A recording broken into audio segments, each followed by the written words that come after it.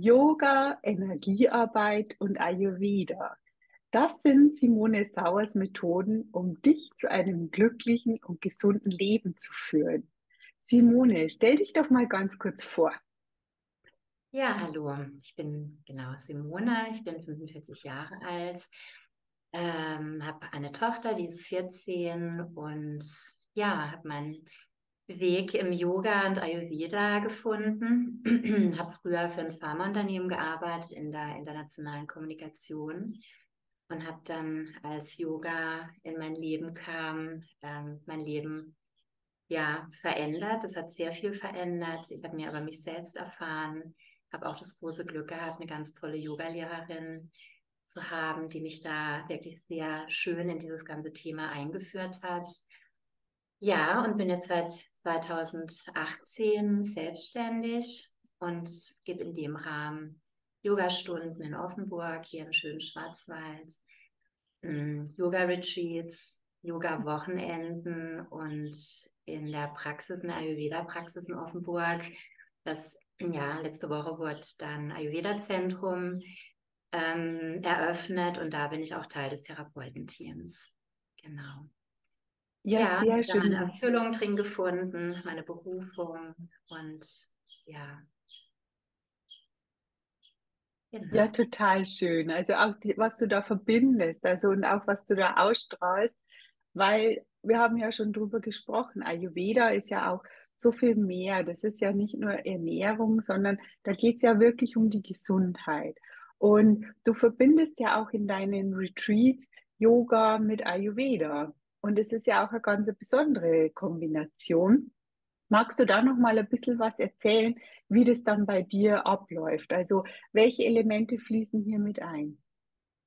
Ja, also bei den Wochenenden ist es so, dass ich da ganz großen Wert drauf lege, dass die Menschen einfach, die kommen ja alle aus ihrem Alltag letztendlich, und dass die Menschen einfach wieder mehr in ihrem Körper ankommen, wieder mehr das Bewusstsein entwickeln, ja, sich wieder mehr zu spüren, einfach auch. Ja, oft sind wir ja so im Außen und reagieren, funktionieren im Alltag, sodass ähm, es mir ganz wichtig ist, dass die Menschen erstmal ankommen, in ihrem Körper ankommen, sich zu spüren.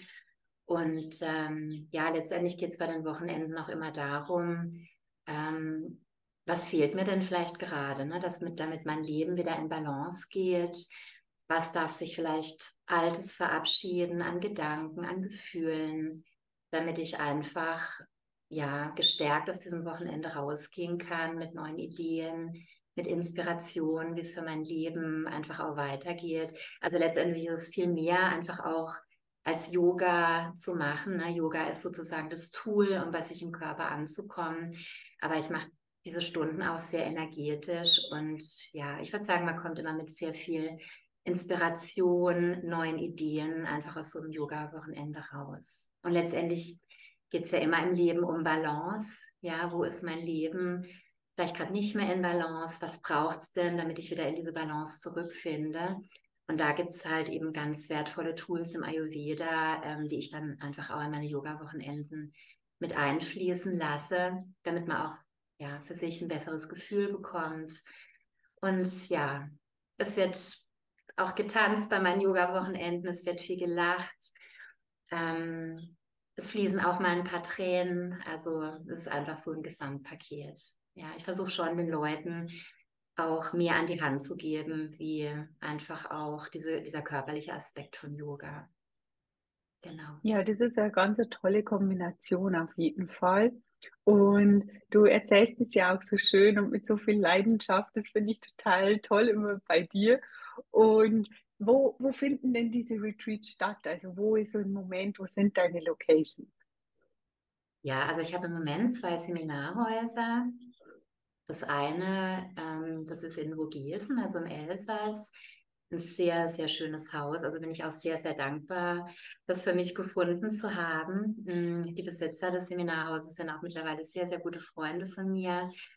Und ähm, ja, es ist mitten im Wald, die Location wunderschön, das Haus, die Einrichtung ganz toll. Wenn man dort ankommt, hat man so das Gefühl, ich möchte eigentlich gerne mal von dort gehen, weil das so eine besondere Energie hat, einfach auch dieses Haus, weil es mit so viel Liebe einfach auch gemacht wurde.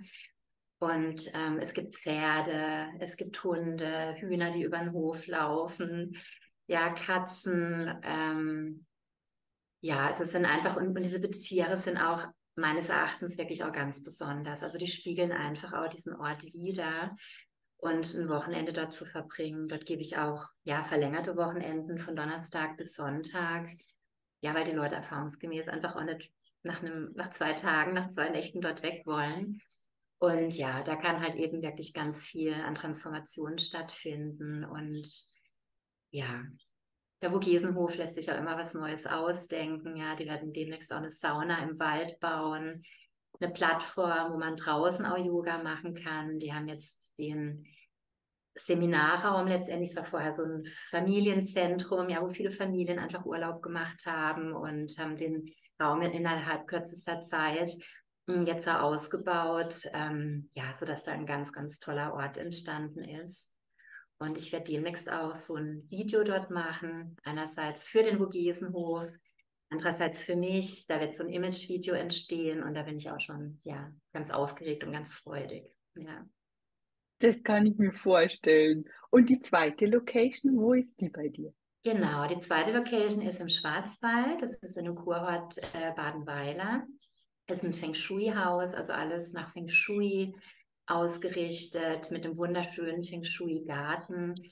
Ähm, auch ganz liebevoll geführt ähm, von einer Schweizerin, die ja einfach ihre Gäste auch sehr, sehr nett empfängt. Und in dem Moment, wo man das Haus eintritt, merkt man schon, okay, man lässt den Alltag hinter sich, man kommt an, man kann auch die Zeit dann auch nutzen. Also ist, bei meinen Yoga-Wochenenden wird es auch immer Zeit geben, ja, wo man einfach für sich ähm, schauen kann, möchte ich die in dem Feng Shui-Garten verbringen, möchte ich die auf meinem Zimmer verbringen, möchte ich in die Sauna gehen, oder vielleicht auch den Kurort besuchen. Da gibt es auch eine Therme, die man auch besuchen kann, eine Saunalandschaft.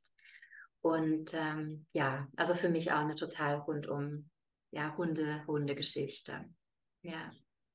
Ja, total schön. Vor allem auch, dass du da wirklich auch so Locations gefunden hast, die auch zu dir passen und wo du auch sagst, da spürst du auch diese Energien und, und da kannst du auch dein Potenzial hier voll entfalten und den Menschen halt dieses ganzheitliche auch wirklich mitgeben. Genau, ja, darum geht es letztendlich. Ja. ja, total schön. Mhm. Ja, und ich habe ja auch schon was Leuten gehört, dass es vielleicht für dich auch nochmal in eine andere Richtung geht. Also, dass es ähm, Zusatzangebote auch noch geben wird und in welche Richtung möchtest du denn gehen? Ja, also ich, ich merke einfach bei den Wochenenden, dass ähm, ja, vieles sich bei den Menschen auch einfach auch verändert, die mit anderen Ideen, anderem Bewusstsein aus den Wochenenden auch rausgehen. Und da möchte ich einfach dahingehend noch die Menschen mehr begleiten, indem ich auch noch eine Coaching-Ausbildung machen möchte. Ja, um einfach die Leute dann eins zu eins einfach auch mehr begleiten zu können. Und ähm, ich finde die Laura Malina Seiler auch sehr, sehr inspirierend da überlege ich jetzt, ob es da mehr noch in die Richtung geht, ähm, bei ihr vielleicht eine Coaching-Ausbildung zu machen, damit ich auch in Zukunft Online-Coachings ausbilden kann, äh, oder anbieten kann. Oder das auch hier in Offenburg. Ja, meine mhm. Yoga-Leute, die bei mir regelmäßig Yoga machen, ähm, ja, einfach noch besser begleiten kann. Weil die Zeiten sind einfach sehr herausfordernd und ja, ich denke, wenn jeder die Möglichkeit hat, an sich zu arbeiten, für sich eine Vision einfach auch hat für das Leben. Das kann sehr, sehr helfen, ähm, einfach auch kraftvoll in die Zeit zu gehen, die uns jetzt vielleicht einfach auch noch bevorsteht. Ja, das ist eine wertvolle Erfahrung, die man dann auch machen kann, weil, wie du schon sagst, also die Zeiten sind herausfordernd und wenn man da in sich ruht und auch bei sich angekommen ist, dann lebt es sich auch leichter. Genau, ja. Mhm. Ja, ja, sehr schön. Simone, zum Abschluss habe ich immer noch eine Frage. Was bedeutet für dich ganz persönlich Auszeit? Ja, eine Auszeit bedeutet mich, für mich erstmal ähm, Alltag vom Abstand vom Alltag zu finden, ja, also mich mal aus meinen ganzen Rollen einfach auch rauszulösen. Ja, wir sind ja ständig irgendwie in Rollen unterwegs und die Möglichkeit zu haben, wirklich mal fernab von allem wirklich bei mir anzukommen. Das bedeutet auch, mich mal aus allen Social-Media-Kanälen rauszunehmen, mein Handy mal auf die Seite zu legen, die Möglichkeit haben, einfach auch in die Natur zu gehen und ähm, ja, einfach wieder mehr ins Spüren zu kommen mit mir, ja, zu spüren zu kommen, wo geht es für mich in Zukunft hin, ähm, was darf ich vielleicht loslassen, was darf mir, was darf ich mir wieder in mein Leben integrieren, um letztendlich auch kraftvoll aus so einer Zeit einfach auch rauszugehen. Und ich, also meine persönliche Erfahrung ist einfach, wenn ich wieder mehr ins Spüren gehe, mit mir mehr ins Spüren gehe, dann weiß ich auch letztendlich, wo mein Weg wieder lang geht. Ja. So, letztendlich liegt ja alles in uns, die ganzen Antworten liegt in uns und wenn wir da wieder mehr die Connection zu uns haben, dann kann das einfach ein wunderbarer Wegweiser sein ähm, für die Zukunft. Ja. Ja, das ist, hast du sehr schön gesagt, auch weil gerade diese, diese Rückzugsmöglichkeit, wenn man sich die einfach auch nimmt und gönnt, ganz egal, ob es eben auch für sich allein ist oder in einem Retreat, ähm, dadurch kann man halt sein Leben auch wieder ganz neu ausrichten und wieder zu, zu sich finden. Und das ist wirklich das Wichtigste, damit man seinen Weg geht, seine Ziele ähm, verfolgt und auch glücklich einfach ist. Und das ist doch das Wertvollste. Ja, genau. ja, schön. Dann danke ich dir ganz herzlich für das Interview heute, Simone, und danke wünsche dir noch einen wunderbaren Tag. Ja, vielen Dank. Dankeschön.